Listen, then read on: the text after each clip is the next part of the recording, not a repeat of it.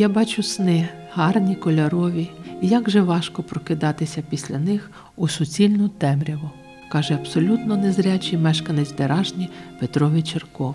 Давно, ще в минулому житті, як каже сам Петро Васильович, він був зрячим. Закінчив Дніпропетровське театральне училище, танцював у хореографічному колективі. Його навіть рекомендували в ансамбль кубанських казаків. На мене чекало таке майбутнє, каже він. З колективом об'їздив увесь Союз. Єдине, що за кордон не пускали, бо ансамбль був від Дніпропетровського заводу Южмаш, який вважався секретним. У мене такі можливості відкривалися. Думав, гори переверну, але хвороба перекреслила все. Перший дзвінок пролунав на гастролях у Москві. Коли, значить, ми в РЦСЄ вже нас завели там по пропускам, мені треба сходити в туалет. Я пішов, а там темно було, і я загубився. А тут же підходить время, будемо виступати. Я там знайшов когось, попросив, попросився, вони мені привели, довели до цього с- сцени. Я тоді вже мені стали водити, е, вже коли ночі було. Ну тоді ще було незамітно, я тоді днем ще бачив, добре, нормально. От. Ну я такий був е, хлопець екстремний. От. Любив танці, любив співати, любив гуляти, любив, е, ну, дівчат любив, теж любив. Да, отакий був. В Бога я не вірив. Факт в тому, що, значить, закінчив я театральне училище от, і поїхав по розподіленню. От. Ну, в тому діло, що тоді на, на свій гріх я якраз влюбився. Не, не в Яну влюбився, ні, а перву жінку. Люба звали. І вона мене забрала сюди на Хмельниччину. І тут вже ми, е, я женився, і тут вже я забув за танці, за гастролі. Я тут став е, собі копійку заробляти. Я почав преподавати в Дом піонерів, зробив групу менших дітей, середніх дітей, старших дітей. І займався. Займався, але я вже тут вже став дуже навіть паршиво бачити. Да. Я вже став не розлічати е, черти лица, тому що спочатку було незаметно, така болезнь, що вона незаметна. Мені стало сложно з дітьми займатися, і я зрозумів, що мені вже моя кар'єра тут закінчилася. Я робив на трансформаторному заводі, е, сварщик, пішов сварщиком, бо вже цієї зарплати мені було мало. У мене народилася дочка перша Інга, треба було годувати її. Я пішов ще працювати і сварщиком на трансформаторному заводі, і заодно танцював тут в веселці, і тут у Хмельницькому, і ще преподавав там себе е, значить, в. От, преподавав дітям.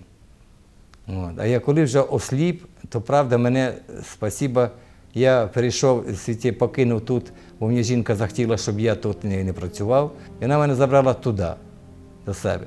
Там, де вже жили ми у мами її. Куди? Ну, у Деражню. Славнозвісний Федоров, до якого він їздив у Москву, сказав: нікуди не їдьте, не викидайте гроші. Навіть якщо я вставлю вам здорові очі, через два роки ви все одно осліпнете. А потім, як уже я став сліпнути здорово, ніж а годувати треба ж дитину, да? я пішов працювати на завод сварщиком. У нас якраз відкрилась філіал заводу Ніва. Спочатку сварщиком, а потім сліп стали, мене перевели е, на слісаря, потім слісаря наладчики, слісаря всі, е, ці е, інструментальщики, а потім слісаря ремонтники. Ну, по мірі моєго сліплення. То вони мене тримали, правда, я вже пішов на групу, мені дали спочатку третю групу. О, я працював на заводі, то вони мене тримали. Жаліли мене і тримали. Ну, хоч я вже наполовину не справлявся з роботами слесаря рем- ремонтика. Дали перегрупу мені пожизненний, і звідтіля я пішов, вже, вже мене відправили повністю на інвалідність. Майже тоді він зустрів Яну і закохався як хлопчик. А в то время вже я з першою жінкою розвівся. А тут на цьому заводі Ніва я і, і, значить, зустрівся зі своєю нинішньою жінкою. Вона прийшла працювати секретарем, Завідуючи кадром. да, з, е, з- завідуючи кадром. Ви розумієте, вона настільки була красива, я без ума влюбився. Без ума. Я, я знав, де вона, коли вона йде з роботи, коли вона не йде на роботу, що вона робить, що вона їсть. Я не знаю, як я це узнавав, відкиля. Ну я все це знав. Вона не замічала, а я все знав. Коли вона лягає спати, що вона дивиться, ну не, не знаю. Я сп- такий виспи- випитував, все. В общем, я не спа, спати не міг, їсти не міг, ні, ну, ні робити не міг, ну нічого не міг робити. Понимаєте? Влюбився. Тоді я ще бачив, звісно, трошки хорошо. От. І я до- ну, думаю, як же ж під- підійти до неї. Ну, підходив, підходив, а вона була недоступна, розумієте? От. То подарки став дарити. І, значить, Наді раз е, щось поломилося, я прийшов і зробив, що там вона ще попросила, так ще раз Балон. балон підкрутити, от, газовий. От, е, двері щось там рипа ледве зробити, бо не закривалися. От. І так я помаленьку, помаленьку, я к ній підкатів, да, в- влюбив її на, на, на собі, а потім тільки подарки носив. Я вмів, і в мене вкус був хороший, я їздив в Хмельницький, то привожу, то волочу і торшер, вже не треба, то волочу і, і пилісос, то волочу ще щось таке. Ну, таке, що всі, Барбара. Да. То хрусталєвий Не. чеський привозив, значить, щоб, ну, щоб в хаті було уютно і все проче. Дуже побачила увагу його, з його боку. До мене велика така увага. От йду на річку, е, йде напроти мене директор наш по, по мосту. Йде, а я йду на річку покупатися. Напроти мене йшов директор. Я його бачу, обличчя, що йде директор наш. На другий раз я приходжу на роботу, він каже, Яна Йосна, а ви не замічаєте, що за вами вечірков ходить? Петруха. Слід, слідом, слід, слідом ходить. Ні, не бачила. А ну я придивлюся, думаю, чекай. Точно йду на спеціально йду з роботи і кажу, ой, зараз піду на річку та трошки ополоснуся, от і тоді буду собі готувати їжу. Ну, фільтрувала. Да, да. Е, йду на річку, бачу, теж підходить. Зайшла в воду, а плавати не вміла. Він, а він теж з з берега вплив у воду і підпливає до мене. Е, а що ти, Яна, не вмієш плавати? Я кажу, ні, не вмію. А він, то давай я тебе навчу. А я, а я гарно плав. А він дуже гарний плавець був, так. Але я тебе навчу. І дуже, як бере на руки, таку руку підложи і тримає мене, щоб я на воді, щоб я не потонула, значить, руку підложи і дуже просто він таяв в, цьому зах- захопленні. Ну, так, да. що тут вже ж така. Що руки дрожали. Да, він Мої. цей, ага.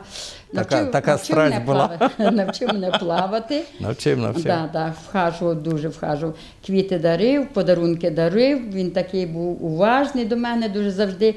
Ну, влюбився я. Він, да. Влюбився. Я Я, не- по що влюбився. Було видно і по тих е, справах, як е, він ухажував, як він оприділяв, він завжди біг. Він, е, коли я поїхала в село до матері по картоплю, молоко, там і молокопродукти, і, і, а тоді ще електричка не ходила, а ходив три вагончики, таке було. Дізель. Дізель, такий поїздочок. І я приїхала, а він вже незрячий був, і він біг по підпуть цією вузесенькою стежинкою назустріч мені, бо ж я б думаю йти з поїзда 35 років, як ми з нею живемо в разом. парі. в парі. А в неї помер чоловік. Лишилося двоє діточок. Одній дитині було, дитина була в третьому класі, Юра старший, а Наташа була в нульовці. О. І, значить, я зійшовся. Вона мені ще каже, «Е, Петя, будемо жити в відкритій балакі, тому що в мене дітей не буде. Ну, я не знаю, яка причина, потім вона мені об'яснила, що в неї якісь там були діла. От, е, Операція. операція. І, а я кажу, що від мене не будеш мати, та стопудово будеш мати. Я, і ви знаєте, як накаркав. В 81-му году зійшлись, в 83 году вона, вона родить мені хлопчика, мого Максима. Да, в февралі місяці. Ну, а ми були не розписані. Жили в такому гражданському бракі. Я срочно, моментально, буквально за тиждень ми розписалися. І з тої пори ми стали жити помаленьку. Потім, значить, вона е, знов забеременіла, але мені не признавалася. У нас троє діточок було. От уже. Троє це чиї? Її двоє і моє одне. І одне моє було, е, значить, е, е, від першого браку. Ну, від першого браку мені до 18 років жінка принципіально не давала зустрічатися з дитиною. Зовсім. Зовсім. Я спочатку, е, значить, е, дуже це і переживав, а потім, ну, він не знаю, так не дано чи, чи що, принципіально сказав, не, хоч, не хочете ви, не хочу я. і я забив дорогу туди. Я знав формально, що мене дитина є, але я не признавався. І, і, ну, я платив аліменти. А тут вже з'явилася Віка. А от коли вже Віка з'явилась, нам Це вже друга. друга моя дитина, друга моя менша дитина, це саме менша. І вже в 85-му году нам дали квартиру в центрі міста. Трохи на. Трьохкімната, хрущовка. Для нас це була велика радість. Ми такий, типу, вже е, в дворець отримали. Бо ми жили там, значить, хата була така е, єврейська, е, капало з, з горищі, потолок був промокав. Да, стара хатина така. Холодно було в ній. Шість чоловік жило. Да, шість чоловік. Шість. Получили ми цю квартиру, от, е, стали обустроювати. Вже коли народилась Віка, я вже черти ліца її не бачив. Я не знаю, яка родила, красива, на кого похожа вона була. Це я вже 100% не бачив. Вже. Я тільки міг оприділити маняк дитини, маняк хати, маняк е, машини, ну, типа форми і все. І це вже різко. От. То я вважаю, що я Максима ще бачив черти лиця, а Віки вже не бачив. І от зараз я, вона в мене є, я не знаю, яка вона. Ну так представляю, що вона в мене жінка красива, я не, не, не так не паршивий так собі. Да. Ну думаю, що вона гарна. Петро був готовий до сліпоти. Батько давно готував його до неї, але коли втратив зір повністю, почалася страшенна депресія. Ну, я коли осліп, ви розумієте, я осліп вже конкретно, то я е, ну, вроді все потеряв. Ну, все, розумієте, я перестав бачити красоту жінки, красоту е, кольору, е, значить, який колір, кра- е, Природи, черти- природи черти, дерева. Ні, таке було, ну, я попала в вакуум, розумієте? І я тут я був потрібен, бо так я з дітьми возився, бо я е, е, ну, значить, вів кружок ці гуртки тут там піонерів. Я був тут е, потрібен на, на заводі, був я сварщик, був хороший, прекрасний, і з людьми общався, мене розуміли і знали. Я був потрібен на цій землі комусь, розумієте? А тут різко все обірвало. Обірвала сліпота мене так. е, Я, я, я, і, коротше, я пішов в запой. Я хотів покончити з собою. Я, було таке, що я вийшов на балкон і хотів з балкона викинутися, то мені, правда, син спас мене. Він так відкриває е, балкон і мені каже, папа, не треба. Спокійно так. Без- за руку. за, тако взяв мене за руку без крику, і мені тако, от, от, значить, відійшло, розумієте, я тако спокійно з ним, як, Лагідно, як, лагідно як з ним як за, за, за, пішов, за, ну, як дитина мала. Він мене завів в кімнату, я, видно, був нервний у мене якийсь срив, я ліг і я спав сутки, заснув і спав. Я тоді став трохи до Бога звертатися. От, і я зараз, от, я от зараз вам, вам в очі кажу, що мене спас Бог і жінка. Молилася дуже Вона молилася, навчила мене молитися, я став молитися. І поступово з Божою і жінчиною допомогою вийшов із депресії та запою. Перестав палити, пити, почав обливатися водою навіть узимку в 40-градусний мороз по коліна в снігу. І з тої пори помаленьку я перестав пити, почав рухатися, робити роботу по дому. По дому спочатку навчався і гвозді бити, закручувати, їсти готувати, стирати. Жінка пішла на роботу, я стирав, я їсти готовив, я вбирав, да, сліпий, але я вбирав. Вона прийде, що то не так, там чуть-чуть вона поправи, зробить. Я чистив кори, я все робив, розумієте? А потім е, Юра приїхав з Москви, купив два кіоска. Ми, я тоді вже не бачив, ну, маньяки- тільки бачив. То е, стали їх- їх- їх- їздити з жінкою по товар, купляти товар, в ті кіосках продавати. А потім вже ми этот кіоск покинули. Я ма- мі- Юрі, що там були не, якісь неприятності. Він каже, папа, я хочу продати кіоски. Ти мені скажи, ви будете в кіоски? Ну, він мене не забирав. Якось сину. Як треба. Як тобі без треба, питань. без питань, забирай, продавай. І ми прийшли в електричку. От там я вже набідувався капітально. Спочатку і в туалет заскакував. І тако розвернувся, е, значить, е, е, потеряю орієнтацію, бо сліпий, вже сліп капітально. Я лечу на, на, на вікно. Не між проходами, а на вікно йду, розумієте? То е, голову побив, то ноги побив, то е, ці, то, то внизу е, литки побив. Чоловік так намучився, поки призвичаєвся. Три рази ледь не випав з поїзда, бо втратив орієнтацію. А скільки його ображали, обзивали. Сліпака, сиди дома, тобі ж пенсію платять, могли вдарити. Іде, приміром, п'яна компанія. Петро Васильович зачепить випадково, чого преш, і в голову. Я лечу в другий кінець вагона, каже чоловік. Здорові люди не розуміють, що в мене тоді були маленькі діти, я заради них працював, бо отримав всього 800 гривень пенсії. Ж не працювала, бо доглядала мене. Адаптувався років через п'ять, а зараз так ходить, що незнайомі люди кажуть, він обманює, він все гарно бачить. Пока я призв- призвичаився, научился я. Я стал хорошо ориентироваться. Я, значит, лево иду, за место палочки она ударяется об, об, об одну сиденье, об другое сиденье, понимаете? И я так двигаюсь. И они сейчас Прорізаєш собі путь. путь прорізаю, понимаете? А зараз так я ходжу, що навіть вони вважають, що я зрячий. Не вірять мені, розумієте? Я спочатку обіжався, зараз ні. Я вважаю, що це я настільки відточив своє, своє майстерство е, хождення в електричці і торговлі, що, що, що я молодець, розумієте? Вот. А тут у меня жилетка. В жилетке у меня разные карманы. Тут у меня, значит, по, гри, по 2 рубли, тут по гривні, тут у меня по 10, тут у меня по 20. Значит, жилетка по всім карманам. Так що ми земну кулю, їдучи рейсом Жмеренка Гречани, знаєте вже скільки разів об'їхали, жартує Петро Васильович. До речі, він єдина незряча людина в Україні, яка торгує в поїздах і яка настільки чітко все відпрацювала, що може обходитись без сторонньої допомоги. У нього запитують, яка то електричка, коли і звідки вона відходить, де який вагон. Так що його в Деражній називають директором електрички або довідковим бюро. Пам'ять у нього виняткова. Це я й сама зрозуміла, назвавши Петру Васильовичу свій номер телефону, який він, звичайно ж, не зміг записати, але через кілька тижнів передзвонив мені. анекдот розказую. І торгую, і наставляю. Часом зараз люди і жаліються, от там мені так тяжко, мені так то. А от повірте мені, от я коло вас сижу, а мені не тяжко.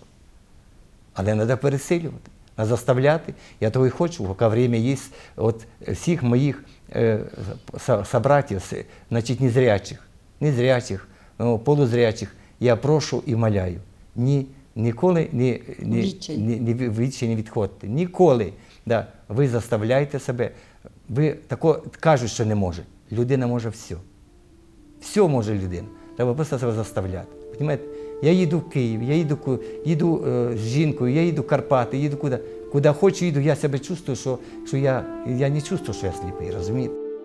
Зараз я працюю заради задоволення, каже Петро Васильович, заради спілкування. Я анекдот, мені анекдот. Мене послали, я послав. Я живу, я рухаюсь, бо сидіти в чотирьох стінах для мене це смерть. Мене впізнають навіть в інших містах.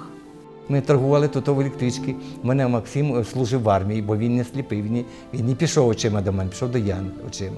Вот. Десну попав. І попав в Десну. Ну і це як е, Присяга. присяга. Ми жінку зібрали, все там харчі, як полагається, їдемо туди, насиділися гарно. Виходимо на Київ, на Київ, на Київ вокзалі, то то виходжу, а вони о! Дивись, каже, о, он каже, йде Петро, каже, пиво вдай всяка ерунда, я казав, понімаєш? вас так називають? Називали. А вон каже, ерунда пішла, понімаєш? І тако пиво вдався, ерунда. А я кажу, Янусю, давай тікаймо, бо нас і тут пізнали. Тако куртку на себе вдягнув і хода під ручку з нею, і хоча на цей на авто, де, на, ну, на, на бусик там за, на ту сторону вокзала, бусик на Дісну їхати. І таким чином, а ми йдемо і сміємося. Цікаво, що Петро Васильович нічого не просить держави. Навпаки, сам допомагає таким, як і сам, незрячим. Таких людей у Дережнянському районі кілька десятків. І на Великдень, Новий рік усім їм він спаковує ящики з продуктовими наборами. Якщо в когось з них чи сусідів біда, завжди допоможе грошима. А тепер ще й допомагає воїнам АТО. Я вдячна е, судьбі, вдячна роботі своїй в УТОСі, що зустрілася з такими людьми завзятими, які не опускають руки. Вони е, настільки щирі і хороші люди, що про них можна говорити довго, довго, довго. Мені би хотілося просто подякувати цим людям, які ходили, збирали е, для своїх людей, тому що Хмельницький нічим не допомагав Дережнянському району, наприклад. Вони самі ходили по, е, по крамницях, по людях, кого знають, дуже їх шанують в Деражні, їх всі знають. Вони збирали своїм людям е, продуктові набори, вони допомагали на е, Новий рік. Ті, замість того, щоб заробити ту копійку, вони ці цукерочки вони збирали і приносили своїм цим утосівцям, бабушкам, дідушкам, які для них це цукерочка, це для них щастя. Вони як діти маленькі. Ці люди е, живуть по божеським законам. Вони віддають все, що мають людям, і в них є бажання допомагати. І за це їм вдячна. Я думаю, що багато людей вдячні.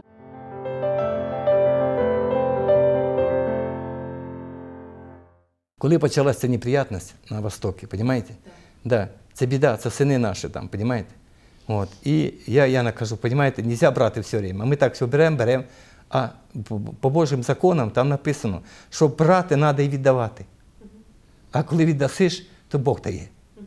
І я кажу, так, Яна, все, ми отримуємо товар, значить, я заказую два, два ящика печення, два ящика овсяного печення, чотири блока води, там якраз води не хватало, значить, е, шукаємо якісь там, я рубашки знайшов свої, які, що я вже значить, в них не влазив, там людям потрібні, е, це, і ми це все відправляли туди. Петро Васильович гарний масажист, не одного підняв на ноги, але грошей за свою працю ніколи не бере. Він і вдома без роботи не сидить. Все роблю. Картошку почисти почищу, їсти приготовлю, постираю. Садить картошку. Да, саду картошку да, На городі. Значить, об'ясню як. Да. Значить, вона йде спереді, копає, я локтем чувствую. Вона копала. Я опускаюся на коліно, опускаю руку, намацав ямку, кинув. Да, це медленно, але все одно насадимо. А скажіть, скажіть, будь ласка, Обрізаю. за те, що ви дерева обрізаєте. То я і зараз обрізаю. Мені всі кажуть, доручаю. «Дивіться, Петро сліпий обрізає. Такого в глазах ніхто не бачив. Просто я залажу, я знімаю капці, знімаю носки і голими ногами. Я, у мене чувствительність хороша. Так став на цей, як його, на, На перилу. на перилу. Тут хватається, у мене балкон е, з- е, закритий, в зверху закритий. Періла стаєте незрячим Да. Да. Другий. Другий. На перила стою, там ставлю лавочку, то на перила, тут хватаюся за цю стоїчку, що е, де шифер поставлений. Да. І потім беру ветку і вже обрізаю. Подтягиваю під себе, тако помацаю рукою під стол. Стол буде е, толстий, треба там обрізати. Обрізав. Ви не повірите, але я бачу сни, гарні, кольорові, зізнається Петро Васильович. І як же важко прокидатися після них у суцільну темряву. Стаю на коліна і плачу. Плачу, як мала дитина. Дружині цього ніколи не показую, навпаки, намагаюся її підтримати. Я сни бачу і зараз. І в снах бачу і зелене, червоне. Отак, як колись бачив, да? то я бачу у сні. Ну, таке, виходить, що я вроді як, і, і, і, цей, як зрячий. Розумієте? А як проснутись в темноту? А просипаюся, криво очі в мене білі. Ні, Лариса говорю, у мене не темнота. У мене матовий цвіт. Мене брала грусть, тоска, що я, ну от я здоровий мужчина, вже ж і, і танцор, і, і, і можу зробити, і, і потрібен людям, а не можу. Петро Васильович вважає, що його сліпота це кара Божа, прокляття, від якого страдає кілька поколінь. І зараз Петро Васильович просить Бога і в тих загублених душ пробачення за того, хто це зробив, щоб у майбутньому, хоча б його внуків, ця кара оминула. А хто з діток не бачить? Зараз не, зараз не бачить Віка. Це саме менше. Саме Менше. менше, да. І, не бачить. Ні, Ну, вона зараз бачить. бачить Вона зараз поваром працює в гурмані, от в Варшаву їздила, працювала. Да, да, да, і дуже там у неї авторитет був, там дуже вона масаж робить, так само і я навчив її робити. Вона масаж, масаж робить, там робила і працює. Ну вона вже є задатки, не бачить, вона ночі не бачить, як і я. Розумієте? Я раніше Тільки вона одна не бачить. ні. Ні, ну, Інга він ще, бачить. перша, Першого перша, брата першого брата бачить. теж не бачить. Кого ви думаєте, це хвороба чи, чи що це може бути? Ви казали, Ну, я не що знаю. Мне кажется, похоже что, на что-то. мне кажется, что это проклятие чье-то, понимаете? Ну, не может быть, что вот так постоянно одна болезнь и тянуться. У меня бабушка слепа, здесь это уже, пом- це первое поколение, Батько це сліпий, то, що я помню. брат його Альоша сліпий. Да. Батько сліпий, друге, друге покоління. сліпі. Тепер я народився сліпим, Галя моя сестра сліпа, Саша моя в Запорожі сліпа, значить, наш Надя трой, а. Надя одна зряча. Тепер у мене Інга е, сліпа, Віка сліпа, Максим зрячий. Ну не может быть спроста. Ну не знаю я. Видно, я не знаю, какая-то была причина, где-то кто-то когда-то обидел. Я, ми, оказывается, род казацкий, где-то ка- когда-то в- когда казаки воевали, где-то что-то они али, э, постреляли чи э, порубали сім'ю сліпу, якогось війна жінка прокляла. Ви розумієте? Я не знаю.